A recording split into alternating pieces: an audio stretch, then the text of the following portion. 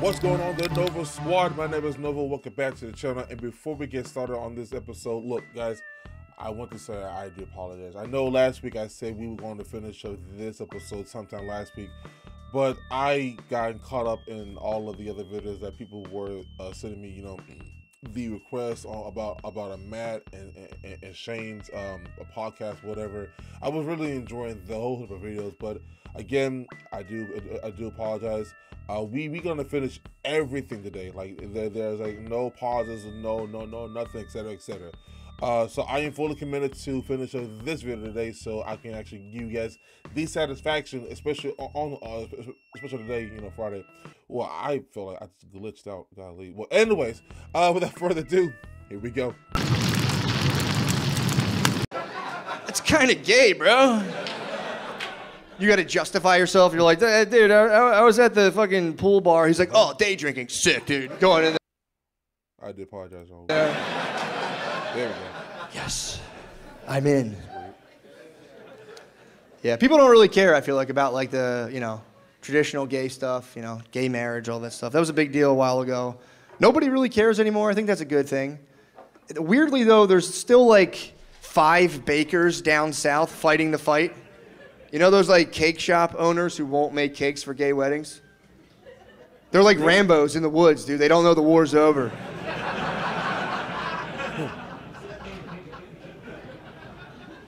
That's such a weird arena for that type of thing, too. Like two gay men walk into a cake shop, and the owner's just fucking jerking off an icing bag. Like, what? Dude, we love pussy in this cake shop. We're not down with that shit you guys do. Let me get back to finishing the sugar dove. I'm gonna finish this cake and finger my wife, dude. It's like. Get out of my cake shop, you guys. That's like the gayest way you can be homophobic. I don't know. yeah. I guess so. I guess so. Yeah. Here's the thing, though. Here's the thing. They do have the constitutional right to deny services to whoever they want. And I love the Constitution. So it's, it's, it's shitty because the Constitution does rule, but also it's like, make the boys some fucking cake. I feel like here's what I think we should do to solve the problem. It's like, all right, cake shop owners, they have to make the cake. It's in the law, you gotta do the cake, but they can make whatever cake they want. Just a seven tiered layers of hell, fucking. just two melting grooms, just. Uh, two melting grooms, that's crazy. Or whatever, I don't know. Speaking of gay guys, I, uh, I have a food allergy. How was that? I have a gluten allergy, dude. It sucks. I know, it sucks. okay. My uncles all give me shit. They're like, you just do this gluten stuff for attention. It's like, it's like the only attention I get is you guys calling me a pussy. That's, I don't want that. Dude, they pick me off. I go to family parties. I walk in, have my whole family with me. Like, oh shit, Marsh, it's Matt. You can't have bread. Uh, do we have any bowls of cum in the refrigerator? That's so messed up, man. I'm trying to do a comeback. I have nothing. I'm like, that, that would be so much cum. There's no way you guys fucking. Yeah. That's crazy. yeah, it is. It's, you know, it's weird having a food allergy because, like, you know, people on, like, weird diets all try to recruit you when they find out. They're like, like, my brother was a vegan for a while. He's like, dude, you got to go plant based. He almost had me. Like, I do like the idea of not hurting animals. I was like, that is pretty compelling. But I have a oh, problem where I always see both sides of things. So I also kind of dig the idea of killing a creature and absorbing its powers by eating its flesh.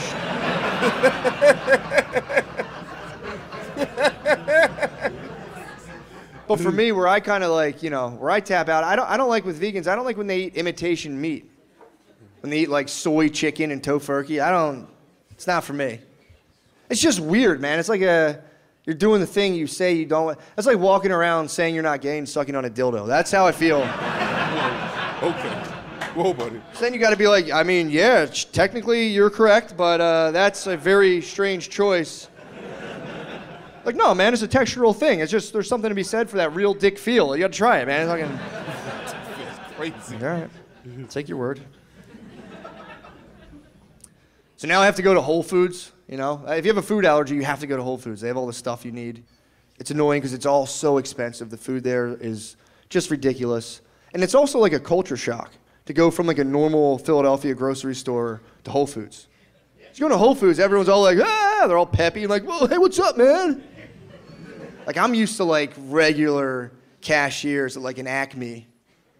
Just ladies just fucking slumped and defeated, dude. Just a grandmom with two big wrist guards on their arms, fucking slugging at Deer Park, like! Just wiping tears off the belt, fucking. That's what I'm talking about. You go into Whole Foods, they pick up every item. They're like, oh, what's this? I never had this before. It's like, of course you haven't. You're a cashier. You can't afford this shit. Fucking. Fuck in the bag. Everything there is expensive, dude. Everything at Whole Foods is super expensive, and the reason why it's kind of a weird reason. Like every product at Whole Foods is designed to make you feel like you're a good person. Like everything, you pick up a bag of sugar, it's like 2% of the proceeds of the sugar go towards some kid in a fucked up country. The kid is so sad. He's having such a bad life, and his mom's mean to him, too. And if you buy the sugar, we'll give him some shoes, maybe. And you're like, oh, that's nice. Maybe. I get all invested. I'm like, my boy's out there. you fill your cart with all this stuff. You're like, dude, I am a good guy. And then you go check out and you see the sales tax. And you're like, ah, that goes towards bombs for that same kid. Dang it.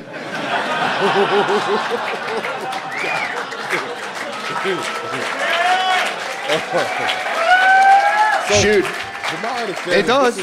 his first stand-up comedy. But then you, I, I bright sided. I'm like, yeah, maybe we'll get the shoes first. That'd be nice, you know? Fucking.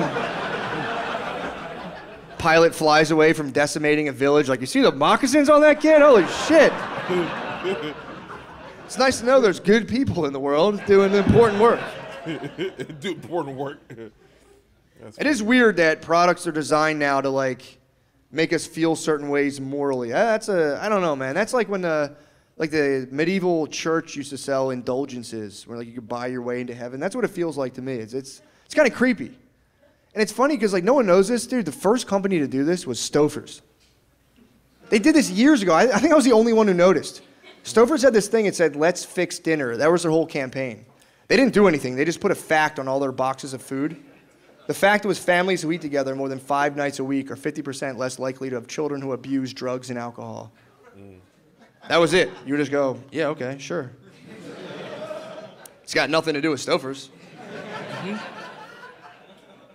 Like if your mom's at home microwaving your dinner five nights a week, there's a good chance that she does drugs and alcohol, dude.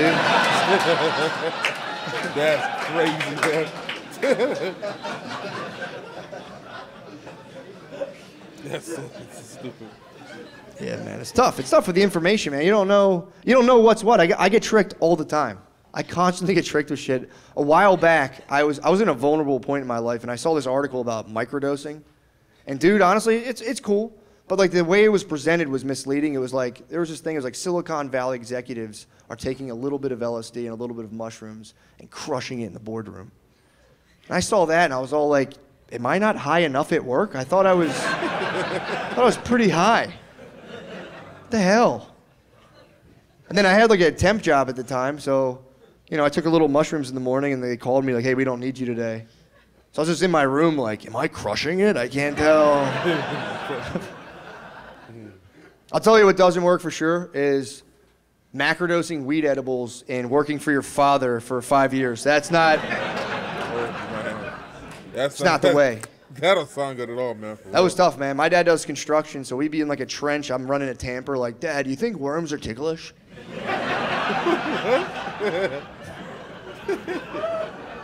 God, what kind of question is that, son? See my father be physically disappointed, just fucking. you think I'm gonna be like you when I grow up? He's like, dude, you're 32. I, I don't know. I don't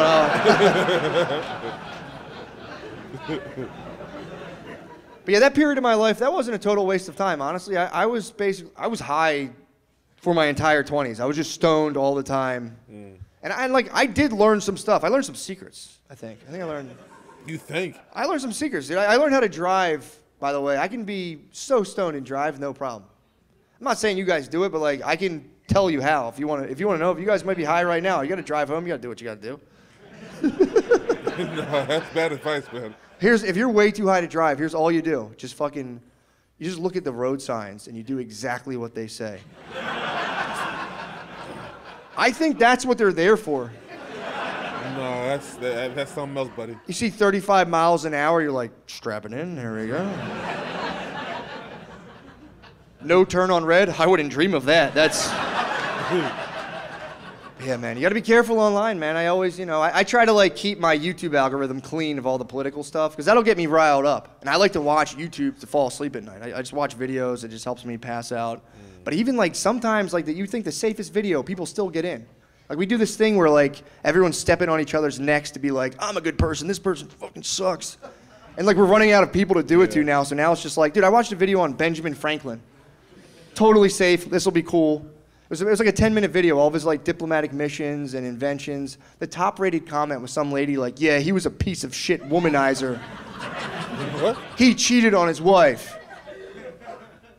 Just fucking nuts. I'm like, that's what you're going after? Colonial era infidelity? That's. All right, fucking ruining my night, but. So now I'm making a case for Ben in my head. I'm like, yeah, yeah, yeah, he cheated on his wife. They covered it in the movie, by the way. They didn't lie. I'm like, he also invented electricity. right. Imagine if it was always dark after 6 p.m. and then it wasn't because of you. Man, you know what? Hey, hey, I, I, I know I said we ain't gonna do do do the pauses, but like there was this one podcast I want to say had like it was a, a, a it was a, a couple years ago. It was B Simone and then it was someone else. They were actually having a debate saying like, is Martin Luther King a good or a great man, even though he had cheated on his wife? But then like they both said that he wasn't great just because he had cheated on his wife. My thing is is like without him, he wouldn't give you give you that shitty ass podcast are you saying as a saying here, dumbass shit. Anyway, I'm sorry. I I, I had to go say it because it, it just sorry. Did you ever see Benjamin Franklin's wife? Beat. Beat. what? Did you ever see Benjamin Franklin's wife?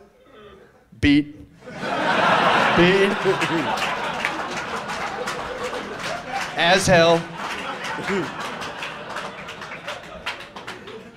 It wasn't her fault. All the women back then, they didn't have vitamins. They're all just fucking. "Ah." They all had those big, thick truck driver forearms from constantly burying their kids. That's all they did back then. Fucking. Oh my "Ah." Look it up. All the fucking kids died. Don't be pussies. That's how it was back then.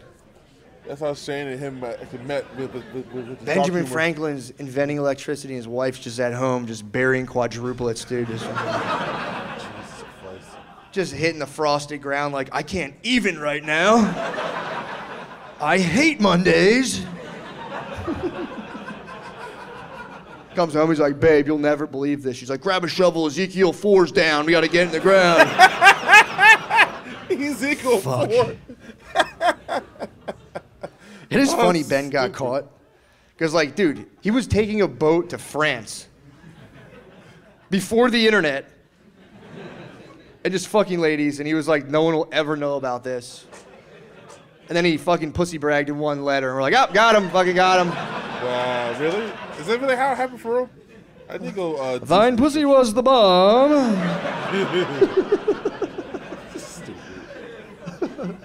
got him. That was a shitty time period to live, man. A couple hundred years ago. Dude, dude, that was like so tough, man. Dudes would just die. Like there was guys whose lives would consist of them just walking in the woods one day and twisting their ankles and just laying there for two weeks like, help! Help! Then they die. That was it. I would hate to live uh, back then, man. For Be real. a family of 14 kids. The dad would go out to get firewood, just like shit himself to death. It would get cold. They'd all sit there like dead. Jesus, man. I like to take my modern problems and I, I filter them through like, would this have mattered 300 years ago? It doesn't work. I still obsess over the dumbest stuff. It doesn't do anything for me. But it's a cool thing to think about. You know, it's like, like even dude, take our worst thing. Dude, take COVID. That sucked. That was bad. Could you imagine explaining COVID to Benjamin Franklin? You might get some perspective. Be like, oh, dude, Ben, we got hit with a nasty pandemic. He's like, oh, it got the little ones. Be like, nah, more like our 80 year olds. He's like, you guys have 80 year olds? Holy shit, man. That's great. Right. Right. Well, it also hit the obese pretty bad too. He's like, what the fuck's the obese, man?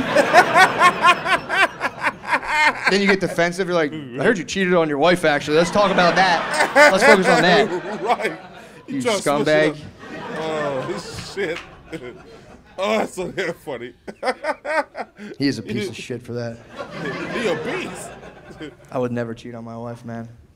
I love her to death, man. My wife took me in at a bad time, dude. I was a divorcee. I was scandalized.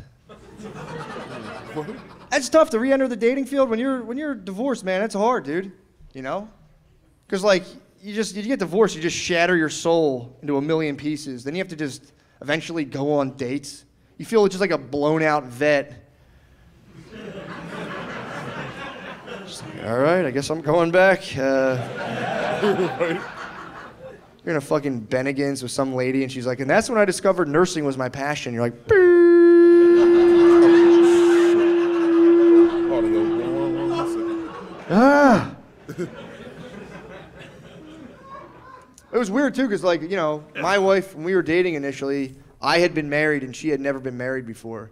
So that's like an awkward dynamic. That it that feels like like you're watching a movie with someone where like you've seen the movie and they haven't. You know, you're out in the beginning, they're like, this is great. You're like, yeah, wait till you see the end. It's pretty sad and fucked up. It's pretty bad. Oh, no, buddy. That's dark. Pretty bad. That's dark. Actually, you know, it's not that big of a deal. Clap it up. Your parents are divorced. It's not that big of a deal. Clap it up right now. There we go. Yeah. Yeah, man. Yeah, man. My parents are still together. Sorry about your parents. That's a shame. But uh, That's, yo, man, man, come on now. I was hoping no one would clap. Is anyone engaged, by the way? Is there any engagements? There you go. There's the man right there. Did you do the engagement photos? Oh. ah, it's the best. Seeing your friend look like a huge pussy on Facebook. you had your foot on a pumpkin, like, oh, is this good, babe?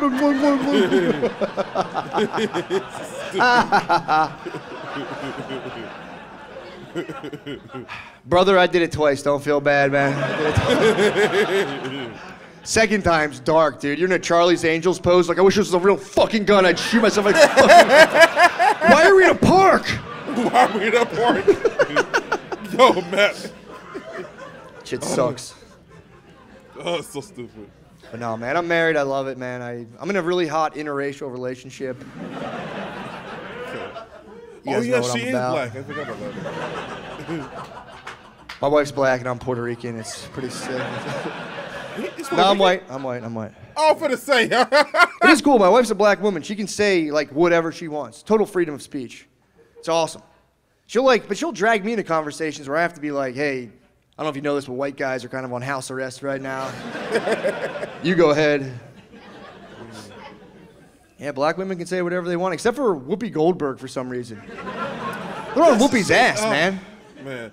It annoys The me. most stupidest shit. She would apologize recently for using the word gypped.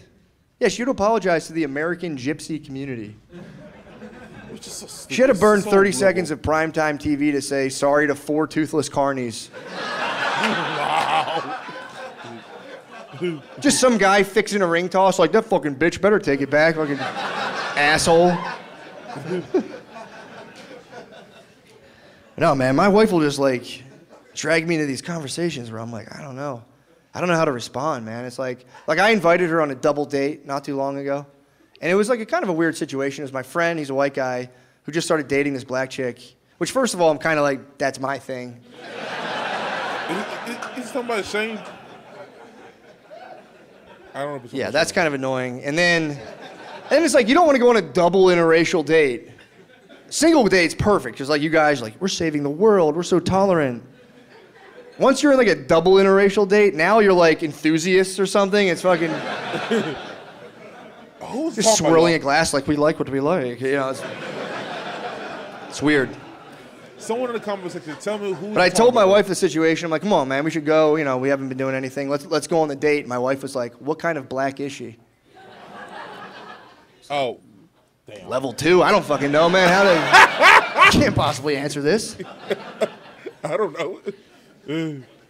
I learn about a lot of white stereotypes too. Being with, I, I like, I hear stuff I'm not supposed to hear. There's a lot of weirdly specific stereotypes about white people. You guys probably have no idea about. I always like walk in on conversations where I hear them, and I'm kind of like, Weird edit like that.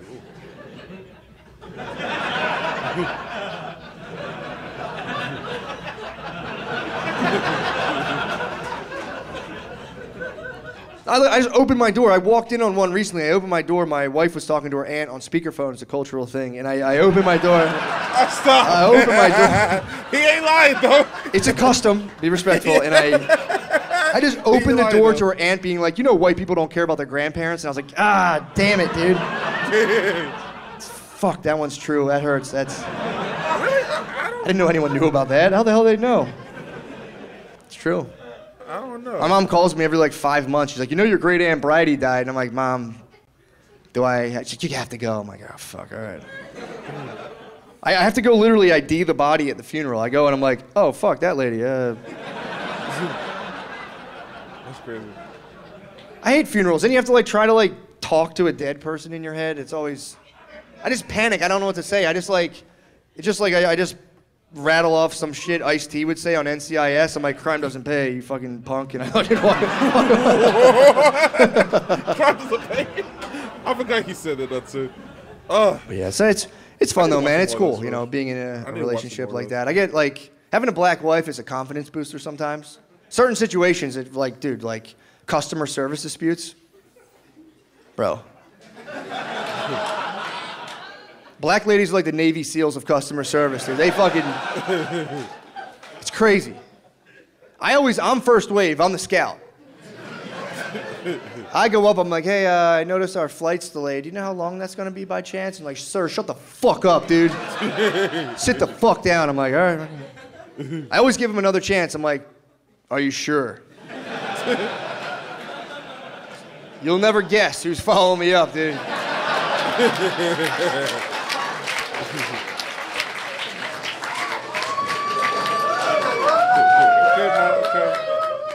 I go, I just tell him like, uh, it was that lady right there. She comes back five minutes later with like a fifty dollar gift card. She's like, we're taking off, throw it on the pile.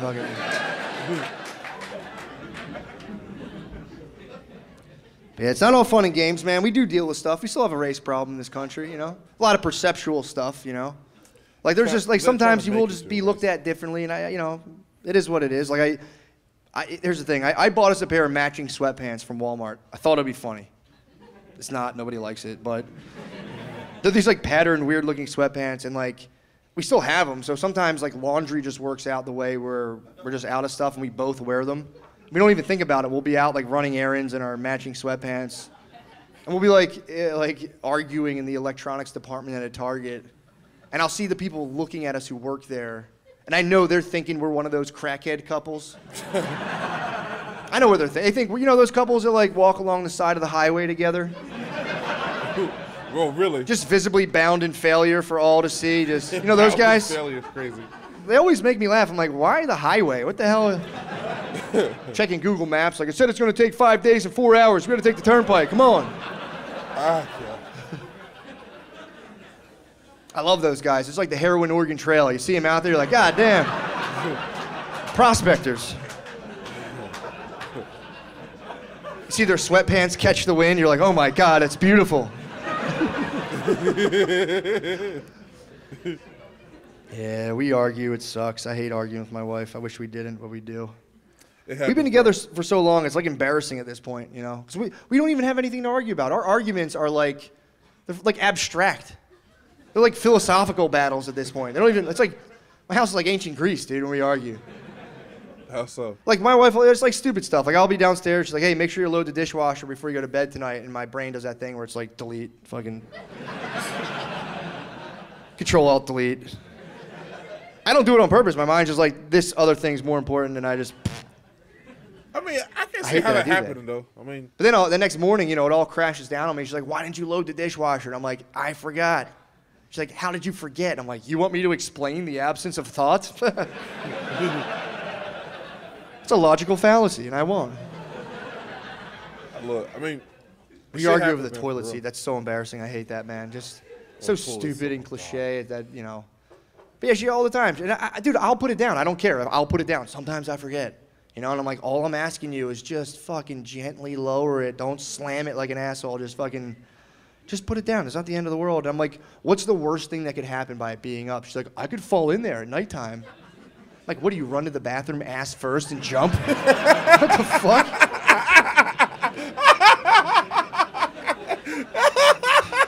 So now I do. I put it down every time, first. but I also put that little one too. I put that down like fuck you. I drop that down oh shit. and I Ass pee on it a little. Oh man, come on, man. You can't win arguments with women, man. They'll just destroy you. It's their game. Literally. You think you win, they'll wait like three weeks and just fucking lance you. It'll be like three weeks later, and she'll be like, "What's up with your teeth?" Like, I don't know. What do you mean? She's like, "Oh, never mind." I'm like, "What the fuck?" right? They'll get you with their celebrity crushes. That hurts, man. Just stop, stop doing that, man. That hurts us. We were watching the movie Fury. Did you ever see Fury? World War II movie. Brad Pitt, army tanks, awesome movie. We're having a good time. We're it yet. enjoying it. Halfway through, need to watch Brad Pitt movie. pops out of an army tank. He just like won a battle. He's like, yeah. His shirt's ripped. I'm like, yeah. How does a shirt get ripped inside of a tank? But I'm not ruining it for so I'm, I'm quiet. He pops out of the tank. You can see like his stomach. My wife didn't even say anything. She just went, mm.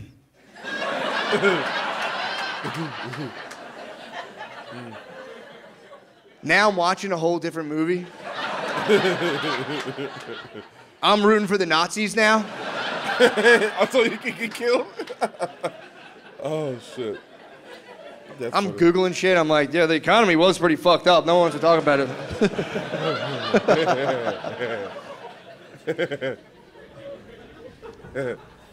but yeah, man. That's funny. She's a good girl, though. She's always trying to get me to come out of my shell, you know? That's a big thing. She's always trying to get me to, like, kind of open up a lot. And, That's you know, so- I, I appreciate that. But, real. like, she's always like, I want to know, like, what's your top fantasy? I'm like, you know, I don't. I'm old enough. I'm, I don't want to do anything new. It's like you, you take a chance on a fetish, you can't go back. like there's some out there. If you bust that out, that's it. Like, sir, do you know what cuckolding is? You you familiar with the term? Sounds Do you know what it is, ma'am? Yeah, it's when a man burns with the desire to see another man with his woman. Oh no. We're not into it. He's a fucking freak, dude. I don't know. that guy's. That's an example. It's like, dude, you can't like rewind the clock on that. No, you If you cannot. set that up, if you don't like that, that's a problem. Well, Just some guy just slamming your wife, and after like five minutes, you're like, yeah, you know what, guys? No, that's actually not what I like at all. Hey, your coworker. Like, Dave, stop, Dave. it's your coworker. It's like breaking up a dog fight. Like, come on, get, get, get, on, get out of there. Knock it off. Nah. I, I, That'd be terrible, man. My wife always, weird. what's your top? I don't know how to tell my wife that my top fantasy at this point is just a woman being nice to me. That's all I want. That's all I want, man. I can relate to that. My top fantasy right now is we're driving, I make a left turn. My wife goes, Where are you going? I say, It's a new shortcut I figured out. And she goes, Cool. Hey, hey, hey, hey. It's simple, but I, I, I understand what he, he is saying though. Don't get mad at me. Like, oh, babe, I'm about to turn off the GPS. She's like, Do it. I'm like, Oh my fucking God. But yeah, but my wife, my wife, she's, you know, she's more bold and kind of outgoing. My wife likes role play, which is, you know, I do it, obviously. I'm a sexually desperate man, but. Fucking role. It's so weird because she'll just fucking, you know, I don't have time to prepare for the role. She's just like, bam, go. And I'm like, ah, because in order to have sex, when you're married, before you have sex, you have to go out to dinner and eat like a ton of food. Which most nights it ends up with like two just stuffed people looking at each other going like, nah, fucking scrap it. We'll do it later. But on this night, we, you know, the planets aligned. We're sitting on a couch. We're full, just grossly making out a married couple, just fucking, uh, just like two slugs mating, just. Uh, trying to force blood to our genitals. Like, Jesus Christ. And then my wife, you know, she springs the roll on me. She goes, You're not going to tell my husband about this, are you?